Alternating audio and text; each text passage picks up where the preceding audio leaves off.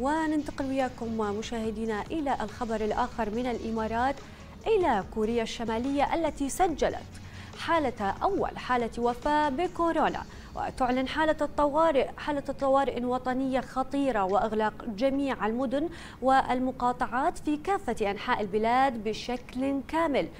قالت وكالة الأنباء المركزية الكورية أن حمى مجهولة المصدر تنتشر في كوريا الشمالية منذ أواخر إبريل عفوا أبريل نيسان الماضي وأنه يجري الآن علاج 187800 شخص في العزل.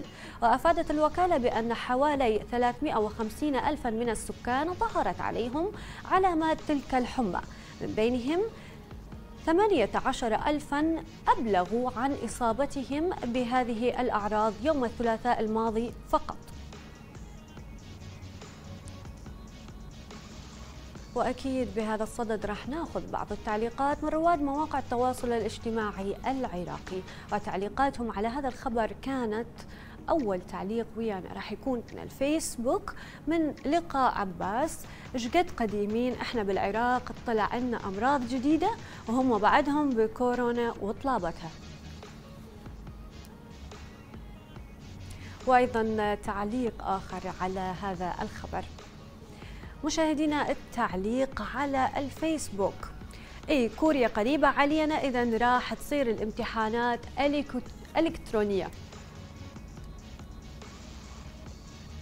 طبعا أكيد مثل ما نشوف أكو بعض السخرية من آه، رواد مواقع التواصل الاجتماعي العراقي على هذا الخبر بحكم إنه العالم بأسره عانى من الويلات وحالات وفيات بالملايين آه، على مستوى الكرة الأرضية كلها بكورونا وهم هسه يلا وصلهم. ناخذ تعليق آخر على هذا الخبر.